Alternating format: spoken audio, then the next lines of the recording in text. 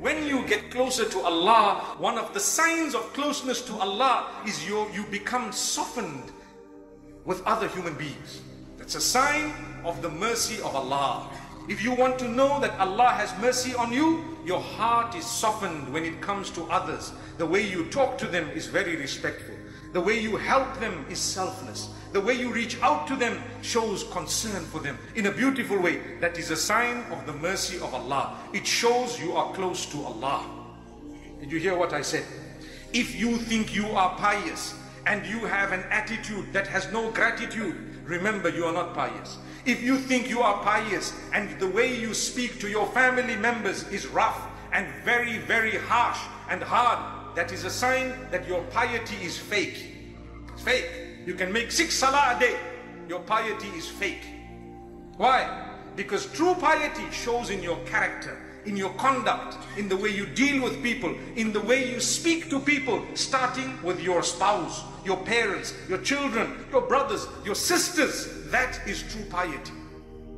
Then your family members. How do, do you make your spouse happy, really happy, by telling them things just to make them happy? Do you? If you do, perhaps you have a sense of connection with Allah. Especially when it is difficult, when it is hard. I was saying again this afternoon in Jumu'ah, and I'm saying it again because we need to keep repeating it.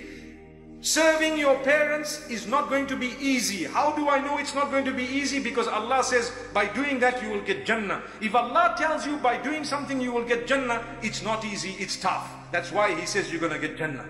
It's very tough.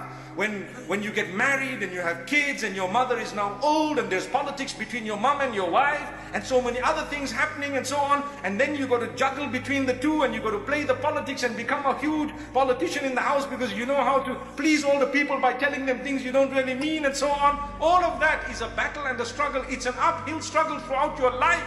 At the end of it, perhaps if you were genuine, Allah will give you Jannah because He knows you tried to maintain the peace.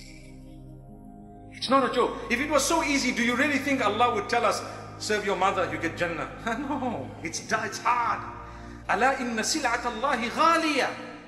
Jannah, the commodity of Allah, is expensive. It's not cheap. You're going to have to read Fajr not just one day, every day. Then you get Jannah. Do you get the point? You're going to have to dedicate every day. There is no cheat day as though you're on a little spiritual diet. No. You know, when you want to lose weight, they tell you six days, no food. Seventh day, cheat day. No problem. Eat what you want. Subhanallah.